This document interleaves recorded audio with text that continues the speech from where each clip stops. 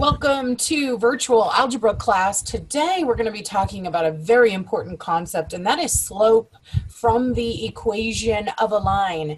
I don't know why mathematicians do this, but we always save the best one for last. Uh, but this is actually the easiest way to find slope if you can remember it. The hard part is always remembering it. So um, let's just uh, ask a little bit of a remember just to make sure that you remember the prior knowledge that you need to know in order to do this. So, so far we've talked about finding slope in uh, three different contexts. Okay, and so the big concept we have to remember is that finding slope um, requires uh, different methods depending on what you've been given, what kind of information you're starting with.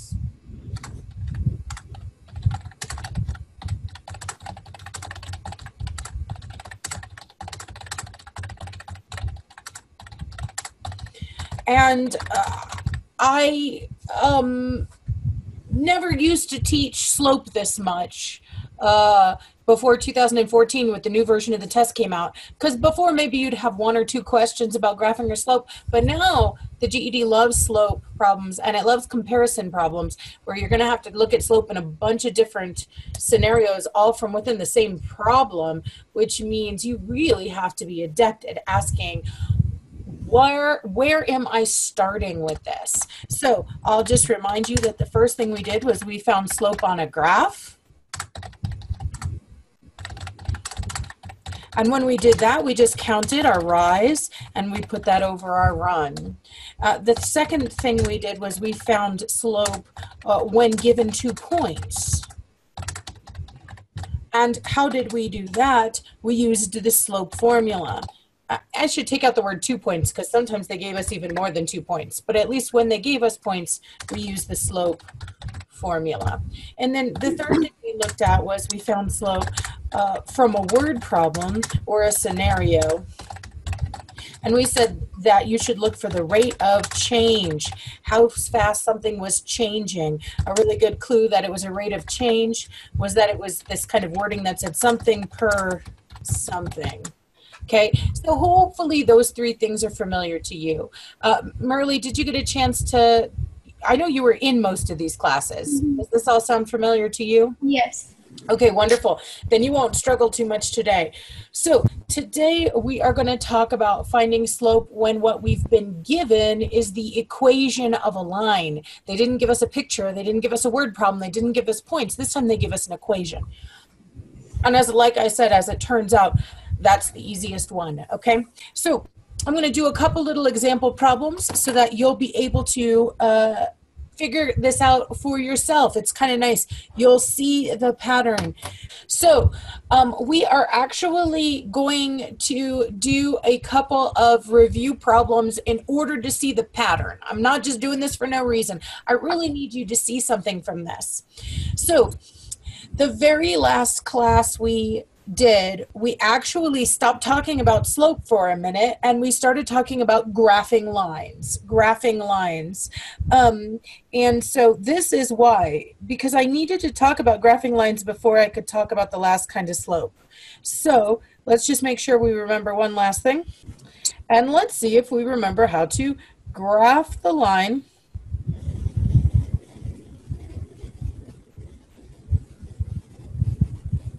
y equals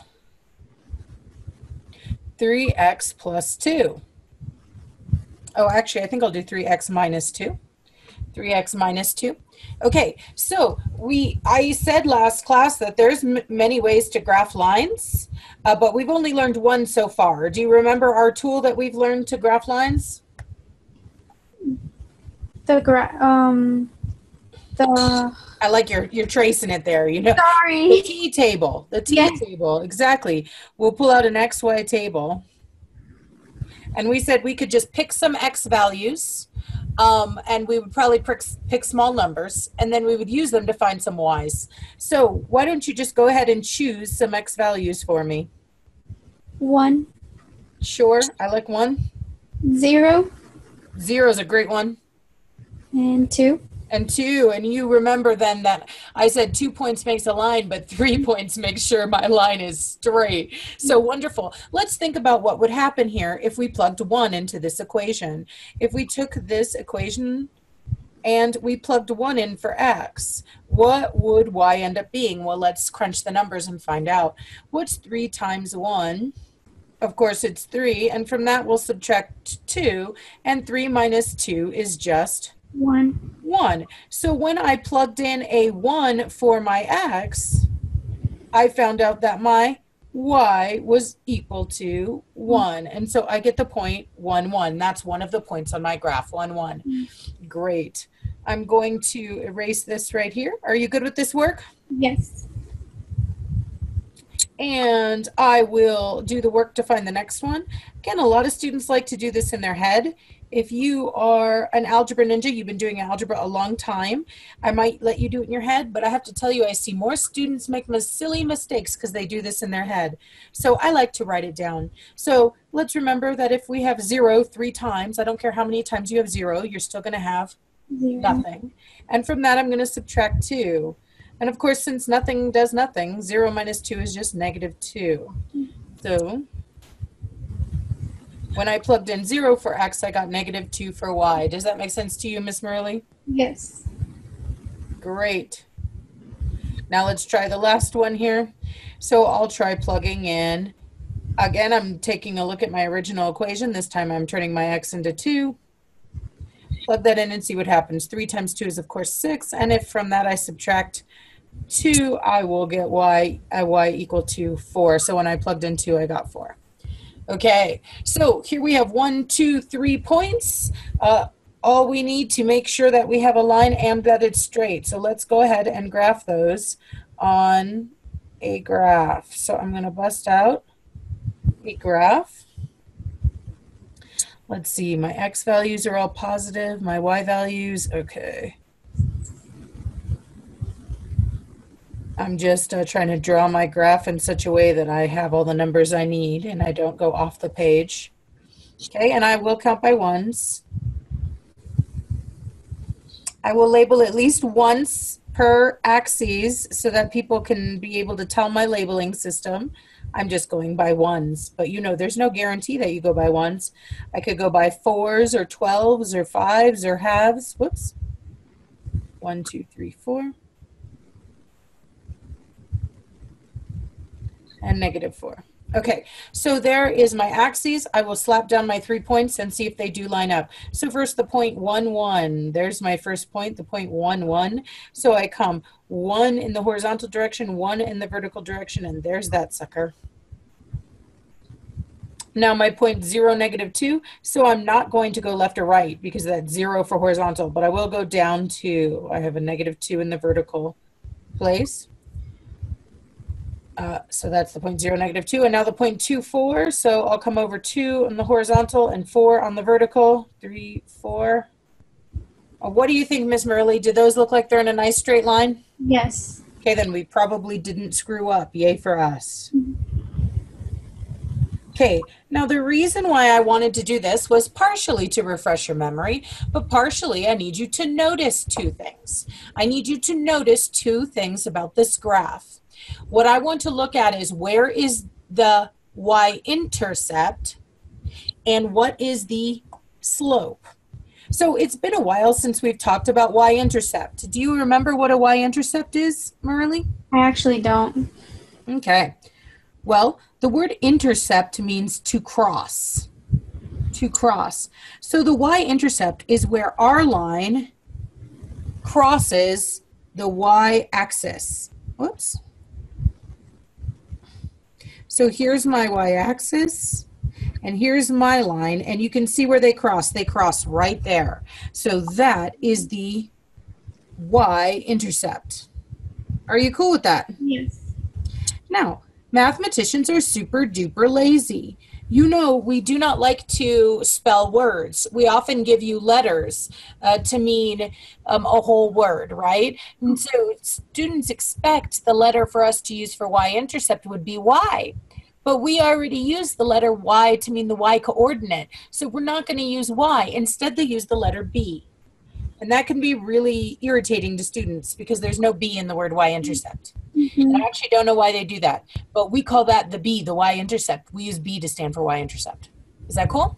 Yeah. So I can see here that my crossing point, my B, is at negative 2. Can you see that? I crossed right where y was negative 2. Make sense? Yes. Okay, cool. The other thing that I want to, so I said y-intercept was where my, I'm just going to write this down in case anyone's taking notes. I have this vain hope that people actually take notes off these YouTube videos, but they probably don't, Marili, but they should if they want to learn. so it's where my line crosses the y-axis.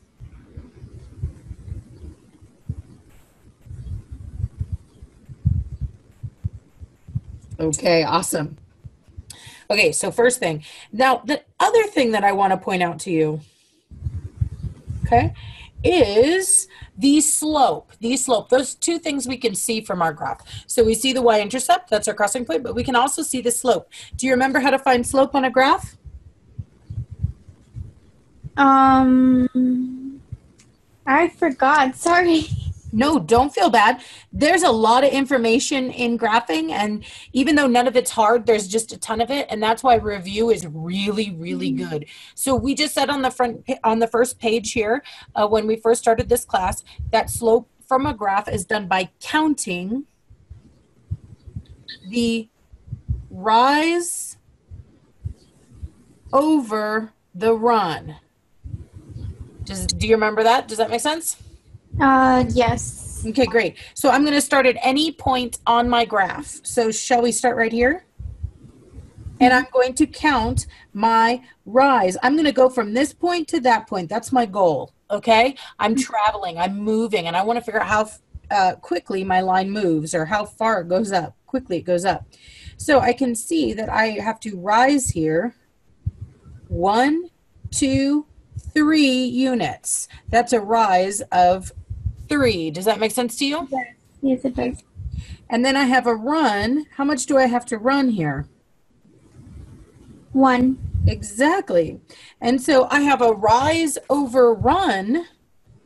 That's a slope. And you remember we learned to use the letter M for slope. Oh, yes, I remember. Mm-hmm. A rise over run of three over one. Does that part make sense to you? Yes, it does. Great. And then we learned for our final answer, we would make sure that our fraction was simplified. And I know that 3 div- divides perfectly by 1. 1 goes into 3 three times. And so the slope of this line is 3. Does that make sense? Yes.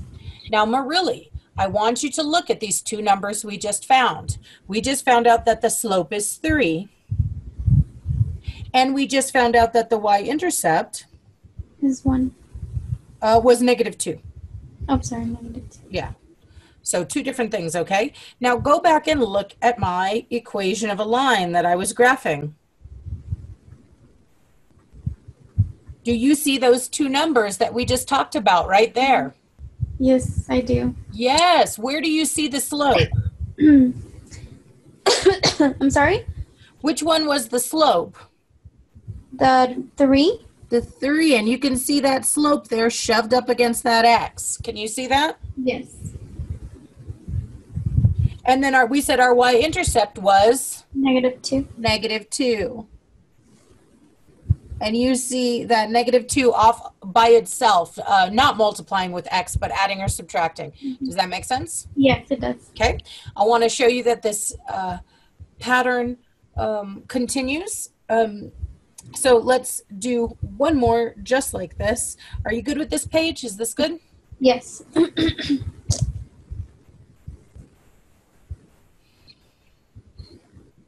And I am going, I used to go really quickly through this lesson because it's super easy to teach. But one thing I began to realize is that even though students would uh, catch on to it very quickly, they would also forget it very quickly. That's one of the um, worst things about math. It's actually the easiest things that we forget uh, because we never had to struggle with them. We never had to process them. We never had to do much to figure them out. So if your teacher just tells you this is like this and it's super easy, you'll probably forget it.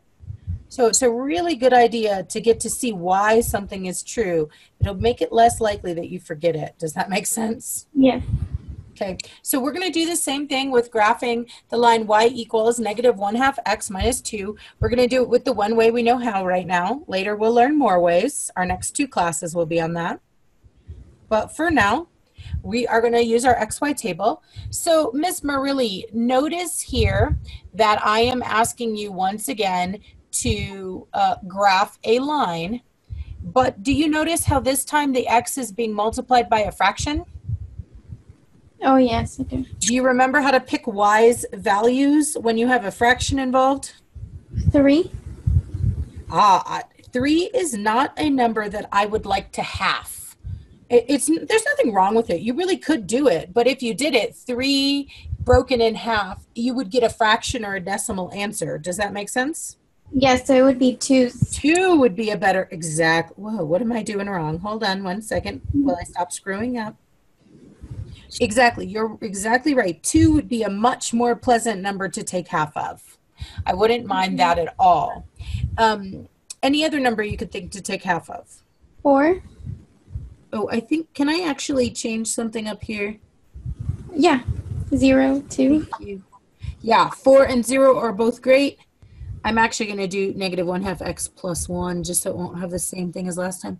Okay, and you want to do four and zero? Okay, so we picked three x values, two, four, and zero, and you guys are all going to pretend like I never changed that uh, equation up there, like it always said y equals negative one half x plus one.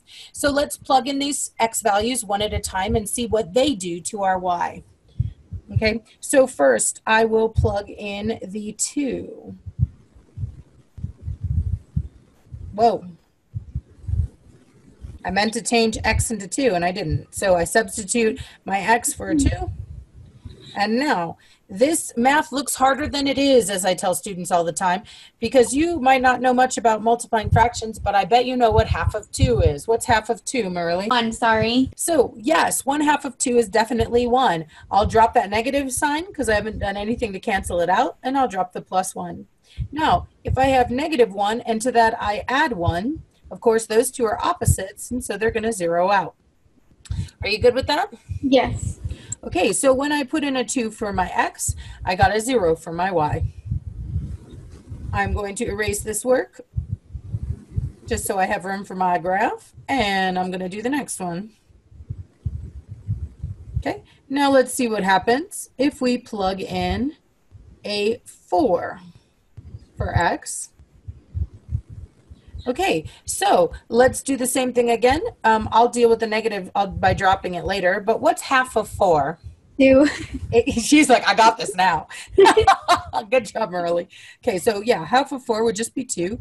Drop my negative because I've done nothing to cancel it out, and I have my plus one. So negative two plus one, I'm two dollars in debt, but then I add a dollar to my account. My balance is going to come up by a dollar to negative one. Are we good with that?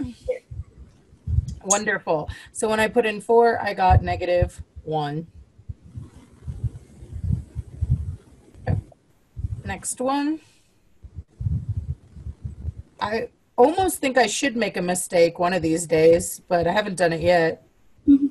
So that you can see what I mean by three points, make sure your line isn't straight, but. okay, so uh, y equals negative one half times zero. Okay, so now this is the case. I don't care what you're multiplying by zero. If I have nothing of any number, I'm just going to end up with Zero. nothing. Does that make sense? Yeah. And to that, if I add one, of course, I'm just going to get one. So in this case, when x was zero, y ended up equaling one. And so I have my three points to slap on my graph. Are you good with those three points? Yes. Okay, great. So let's get a graph going. If you remember your coordinate plane consists of an x and a y axis. I need to have at least one label on here so I know what you're going by. Looks like my numbers are pretty small, so I can go by ones again. So I'll call that one, two, three, four. One, two, three, four. I don't have enough room there. Negative one, negative two. Okay, so I'll graph the point two zero. So that says come over two horizontally and don't go up or down. Check. I'll graph the point four, negative one. So I'll come over four horizontally and then go down one. Check. And now I'll graph the point zero, one. So I'm not going to go horizontal, but I am going to go vertical by one.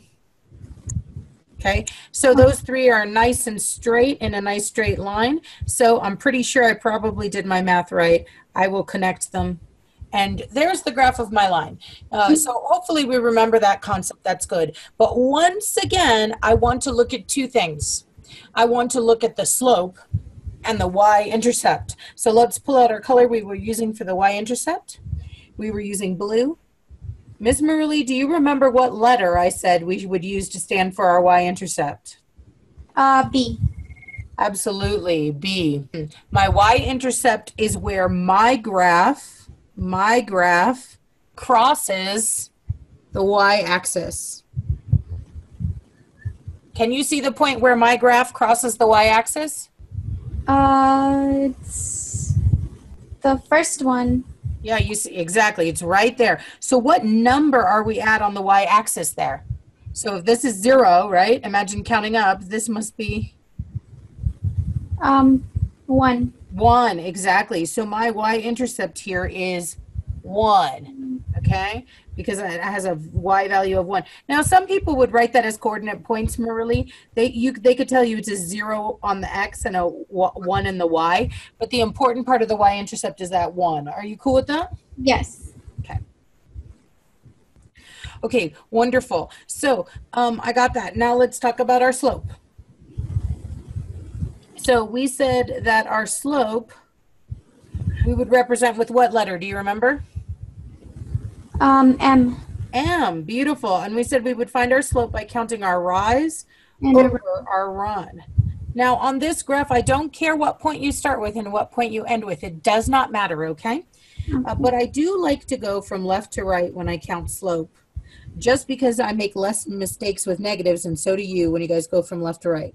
So first, I see that I'm not actually rising on this graph. I'm actually falling. Can you see that? Yes. So I actually went down one. So I have a negative one rise. Make sense? Yes. Cool. And then how much am I running here, Miss Marley? Two. Exactly. Two. So my rise, and I should put it in quotation marks because that's really a fall, is negative one. And my run is two. And if you were to put that in your GED calculator, negative one over two, you would find uh, that nothing would happen. It would simplify to be negative one over two because that fraction is reduced. It's as simple as it's going to get. Are we cool with that? Yes. Okay, so right here I see that I have a y intercept of 1 and a slope of negative 1 half. Let's go ahead and look at our equation again. Do you see those numbers appearing again? Yes, I do. Yes, absolutely they do. Once again, we see this slope shoved up against x, and we see that the y-intercept is the number out here adding or subtracting, in this case, positive 1. Does that make sense? Yes. Okay, cool. So uh, we can derive a rule from this, and then once we have the rule, we don't have to do all this graphing anymore. Yay for not having to go the long way. Okay, but the, like I said, you forget short, easy rules if you don't know where they came from. So here's where it comes from. So uh, let's go take a look here. I'm going to stop this share, and I'm going to come back to my whiteboard.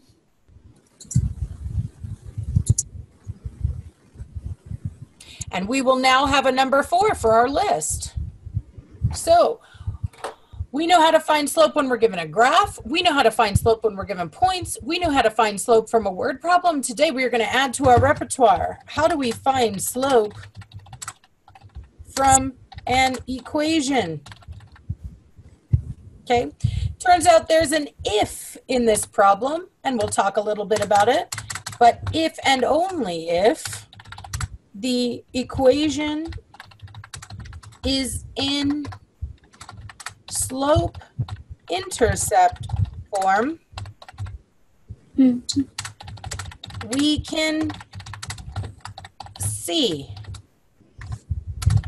the slope. Okay, and we saw that slope again and again. It was always the one that shoved up against x because slope is a rate of change. Slope is how fast your x is changing. Slope will be multiplying with x. Okay, so the slope is multiplying with x.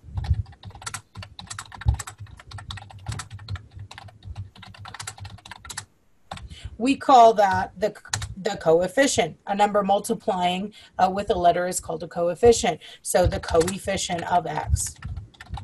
Okay. Um, two things I got to show you. I got to show you the formula sheet. I just want to show you that you don't have to memorize something. So see how I said this language? If the equation is in slope intercept form, I use this wording is in slope intercept form, you might be going, what the heck is slope intercept form? The great news is that um, you actually don't have to have this word memorized because this is something on the GED formula sheet. So let's go ahead and look at the GED formula sheet. So at the top of the GED formula sheet, we have our geometry formulas. Area, perimeter, surface area. Those are the things to do with geometry, shapes, measurement. But if you come down to the bottom of the sheet, we have the algebra formulas. Okay? And you can see the very first one we've already used. We used this the slope formula, there's that one. But look at the next one. It says slope intercept form of the equation of a line. Slope intercept form of the equation of a line. And there it is so that you don't have to have it memorized. y equals mx plus b. If you have your formula sheet printed out, and I highly suggest you print it out, I would mark this up right now because this is what you need to know. Mathematicians are like not always the most creative people on earth, okay? So when we named this form of a line here, we were not creative about it. We called it the slope intercept form of the equation for a reason. And that's because it shows us two things. Look at the letters there, y equals mx plus b. We know what m stands for. You've been telling me over and over again, Miss Marili, what m stands for. What does m stand for? For um, slope. Exactly. And so we can see what this thing is telling me. It's telling me whatever number is multiplying with x is going to be the slope. And then we also see that it's adding with B. b. And we said b stands for the Intercept. Exactly, the y-intercept. So why do we call this thing the slope-intercept form? Because it shows us two things. It shows us the slope and the intercept. But notice that this only works if it's in this form. The big check that it's for this form is if the y is alone. Do you see how y is alone on its side of the equation? Yes. Yes. So you know that something is in the slope intercept form of the equation of a line when it's solved for y, when y is alone.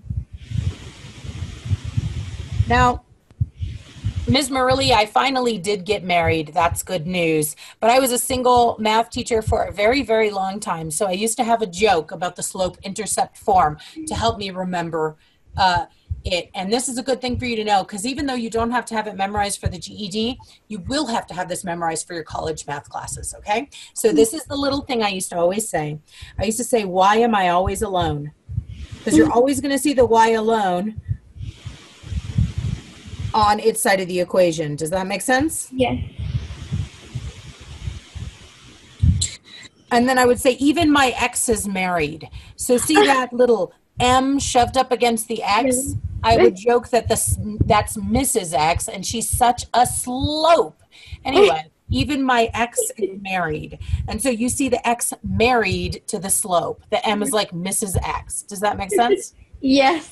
And then I would say with a baby. Why am I always alone? Even my ex is married with a baby. That little B is your Y intercept the baby. And so that's how we would remember this form when I had to have it memorized. Okay. But now I'm married and my husband doesn't think it's a very funny joke. Especially since he's an eighth grade math teacher. Okay. Oh.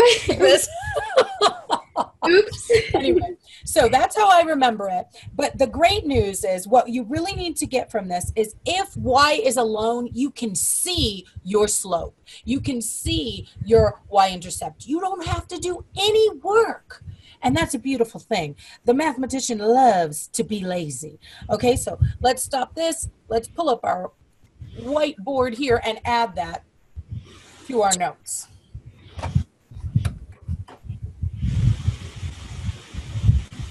I do not know why things keep disappearing off this screen. Okay, so we said the slope intercept form of a line has y alone, always, always, always. Why am I always alone? Even my x is married, so you see that slope shoved up against the x with the baby. The y-intercept is always adding or subtracting. Um, and uh, once you know that, you can just, the rest of the problems are going to be so easy. They're going to take me longer to write than they're going to take you to solve. Like, seriously. so let's try some GED examples. so what is the slope of the line y equals negative 3x plus 4? Okay, just looking at this, um, I can see that this is in slope-intercept form. How do I know? Well, do you see my y alone? Yes. y is alone, so yay. That means this is super, super easy. I can see the slope. The slope is always the one that's shoved up against x. Hmm. So what is the slope of the line y equals negative 3x plus 4? Well, I'm too lazy to spell slope, okay? So I'm going to be the lazy, lazy math teacher who just uses the letter for slope. I'll say, oh, the slope is equal to, again, I'm too lazy to spell is, the slope is negative 3. That's the number shoved up against x. Notice I just write the number down, the coefficient. I don't write x. And that's it. I answered in a complete mathematical sentence. Does that make sense? Yes.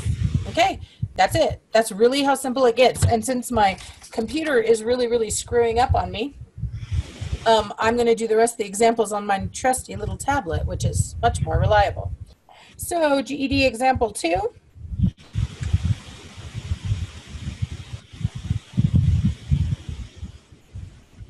I could ask you, what is the, now remember that sometimes instead of saying slope, we say rate of change. But don't stress if I change the wording on you, it's the same thing. What is the rate of change of the line? y equals 2 thirds x plus 7. First thing I'll ask, because remember this only works as if, if I'm in slope intercept form, is am I in slope intercept form? The way to tell is if your y is alone. So Marili, is your y alone? Yes. Then yes, I'm in slope intercept form. Make sense? Yes, it does. Okay, so check. I'm in slope intercept form. That means I can see the slope and I can see the y-intercept. Well, they asked me about rate of change. So rate of change is another word for slope. So they're asking me about slope. So what's the slope of this line? The slope is two and three. Two thirds, exactly. And that's it. That's the, I'm- I'm done. There's like no math to do. You just straight up just have to know that. Wow. Uh, and that's why I said it's easy to do, but it's also easy to forget when things are easy like this. Does that make sense to you, Miss Marili? Yes, it does. Okay, so next one we'll do. What is the slope of the line? I want to show you some GED tricks. That's the only reason I wanted to do any more examples since this is so stinking easy. But here's one way they might try to trick you. What is the slope of the line 4 minus 2x? Now, it's an interesting question if I ask you, is this in slope intercept form?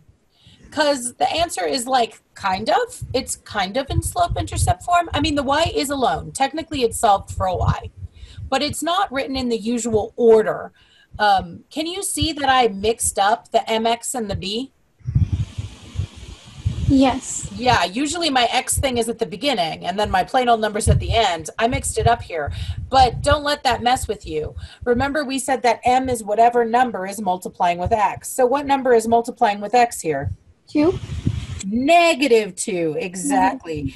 See how that that is I know it's a minus 2x, but when you think of it as a multiplier, it's a negative 2 Um. multiplying x. Does that make sense? Yes.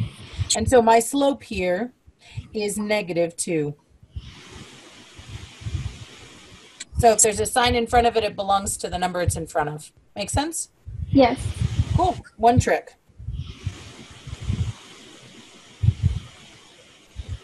Okay, here's another way they can ch- try to trick you. It can look like there's not enough information.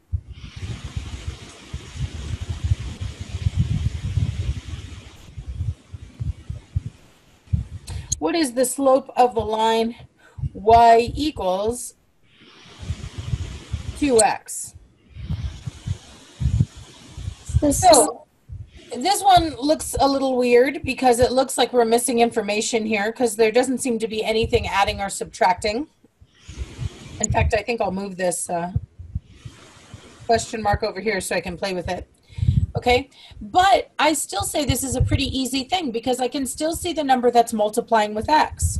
We know that the slope, the m, is always the number that's shoved up against x, and we can see that number. So, Marili, what's the slope here?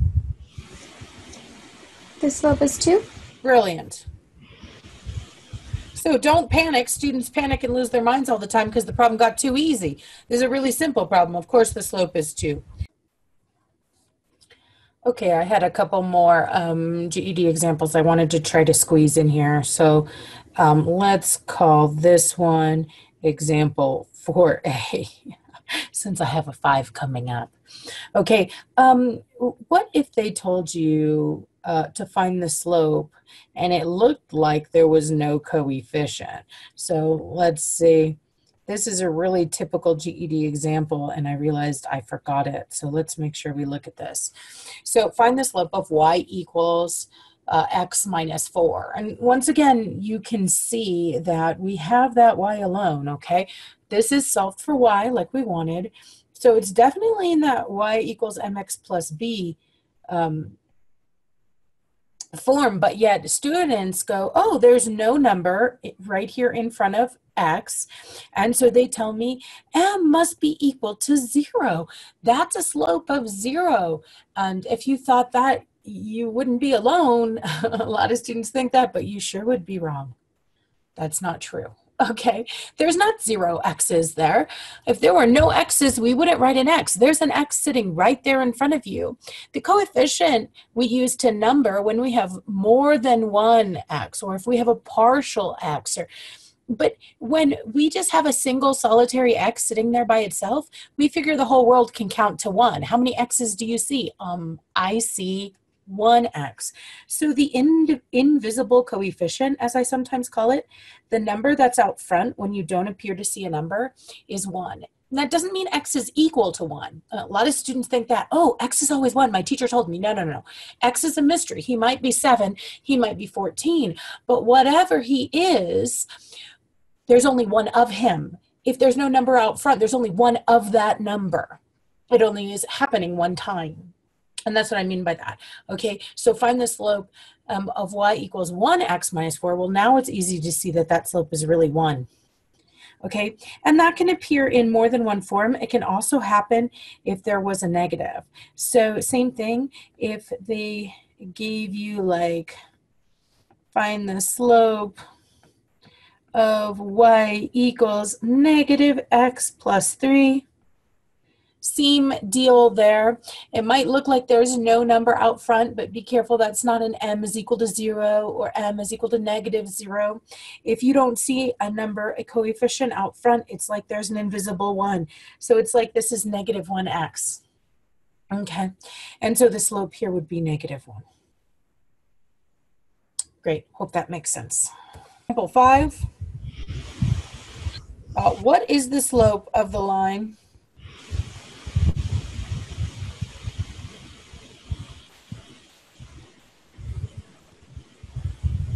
Now, to tell you the truth. I actually have this problem memorized. I know when it looks like this what its slope is going to be. Um, and we've talked about that in another class. But if you don't have it memorized, like a lot of students don't have all this crap memorized because they're not mathematicians and they don't do it every day. So if you don't have it memorized, no big deal. We can still use our um, slope intercept form in order to see the equation of this line. Okay, so let's remember, and I'm going to just write it down, that if I were to look at that GED formula sheet, slope intercept form is y equals mx plus b. So I know that the number that is multiplying with x is the slope. And the number that's adding or subtracting, it's off by itself, is the y-intercept. Take a look at this uh, number here. It just says y equals 2. Okay. Do we see any x's? Do you see any x's in this problem? Yeah, in this in this one over here. y equals 2. Is there Oh, no, any I X in there? No. No, there's no x's in there. I'm going to say that again. There are no x's in there.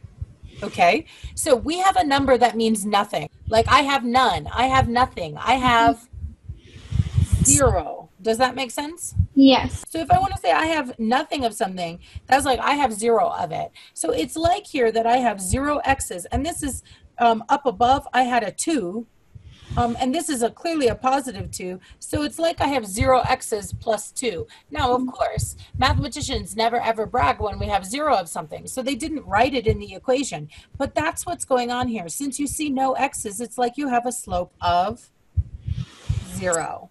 There are zero x's in that equation, and so your slope is zero. And that, uh, like I said, is one of those easy, easy problems that students forget a lot. Does that make sense? Yes. Okay, so if you see no x's in your equation,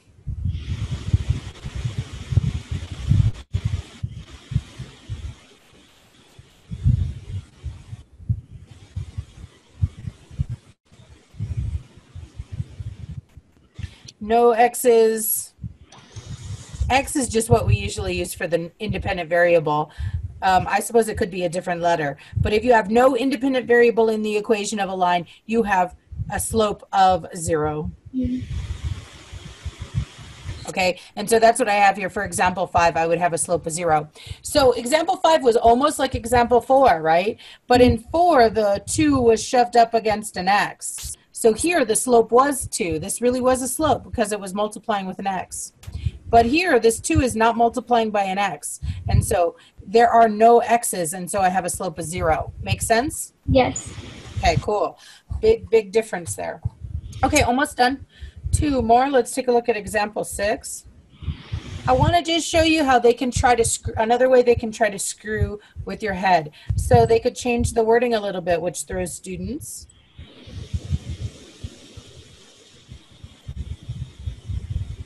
What is the rate of change of this function? And we've seen we know that functions are just relations. Um, so there's no guarantee necessarily that a function is a line. I mean, yeah, a lot of lines are functions. But this one I know is a line um, by looking at the function because I can see that even though it looks a little different, um, it is definitely in y equals mx plus b form. Okay, so I'll show you how I know that. First of all, this notation over here on the left of this equation, it says f of x. Ms. Merle, have we talked about that f of x before? Not that I remember. Okay, this is known as function notation. It's saying all this says is that I have a function, I have some kind of a function, some kind of a, an equation really, um, where x is the independent variable. We read this as f of x. Students look at this and they think, oh crap, it's new math to do. I have to multiply an f times an x. This is not math to do. Function notation, this f of x is just a really formal way to talk about y.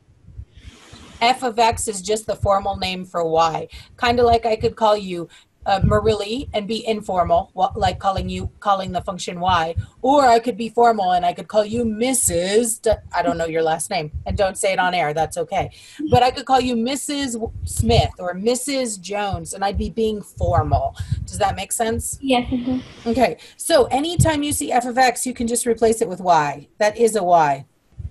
Oh, okay. Yeah, exactly. And then I see negative 2.7x. Well, there's an mx and plus a b. So obviously, even though it looked a little funny, this is a line in slope intercept form. Make sense? Yes. So now that we know that, can you tell me what the slope is? The slope is um 2.7. Negative 2.7. Brilliant. That uh, minus sign is in front, so uh, it belongs to that 2.7. So my slope is negative 2.7, and I don't write the x there because it's just the number. Good, good, good. So it's unusual. It looks weird. We don't usually have decimals in these things, but whatever. It's still the slope because it's still multiplying with x. We good with that? Yes. Great. One last example, and probably the fiercest one I got because it combines word problems with this concept. So let's look at example seven. I'd almost like to star this because I feel like this is would be so GED typical. I wouldn't be the least bit surprised if you saw something like this, okay? A certain taxi company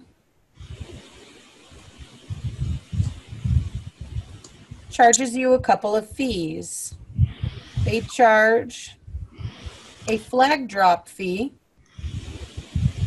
Miss Marili, do you know what a flag drop fee is? No. That's a one-time fee that you pay the second you sit in the cab, you got to pay that money.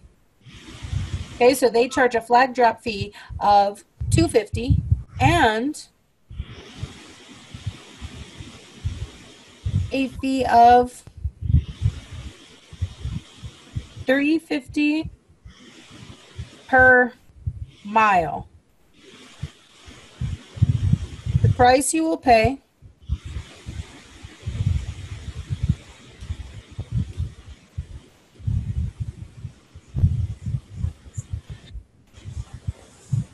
To ride in their cab can be modeled by the function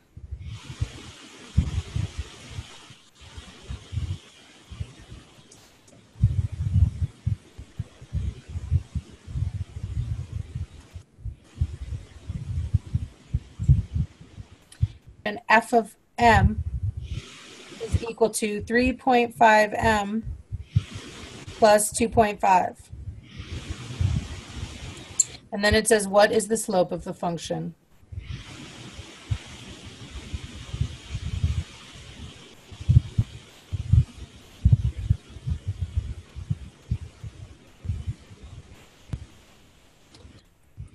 So students panic when faced with word problems. Pretty consistently, they panic.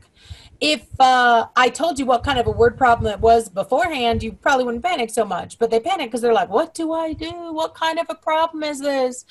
So always know what you're looking for and what you've been given. So I can see what I'm looking for in the question down here. They say, what is the slope of the function? So they're telling me to find slope. Now, we had said that the way you find slope is going to differ. It's going to differ depending on if you have a graph or you have points or you have a word problem or you have an equation of a line. And you might say to yourself, Kate, I have a word problem. But I would say to you, Marili, you also have the equation of a line. Okay, so they gave it to you in two forms here. So I don't care which way you think it's easier, word problem way or slope of a line or you know equation of a line way it's here in both ways okay? So let's since we're talking today about doing it from the equation of a line let's go ahead and take a look at these equation of a line. So first thing that freaks students out is that this function does not use x. Instead this is a function of m. But it still really doesn't matter. Whatever it's a function of that's like the y value. So this is like you have y and it might say it's equal to 3.5m instead of saying 3.5x, but it's still my independent variable that's in there. It's just as if this m had been an x. Uh, they're probably using m because they're talking about miles. Does that make sense? But it doesn't matter what letter we use for the independent variable. That guy inside is like the x. It's the independent variable, and whatever's multiplying with it is going to be the slope. Does that make sense? Yes. And so I can see right here that my slope is 3.5. And I think I'll use the word slope instead of the letter m since I used m in another way in this equation. So my slope is 3.5. Okay, are you cool with that? Yes. I could have also seen that in the word problem because remember we learned two weeks ago that the in the word problem, the slope is the rate of change, and it's usually measured in something per something. And you can see it up in here in the wording. I have a fee of 350 per mile. It's a something per something. It's how quickly my cost is rising. It's a rate of change. And so $3.50 is the same as 3.5. Either way, um, my costs are rising 350 or $3.50 per mile I travel. So that's still a slope of 3.5. The answer could be in either one of these forms, but hopefully it makes sense. How does that look to you? Good. Is that okay? Yes. Brilliant. This is as tough as these problems get, really. Um, Wow. the only way that I could make your life harder is by comparing um, lots of different um, slopes in one problem. And I think I will start my next class by doing that for a good refresher.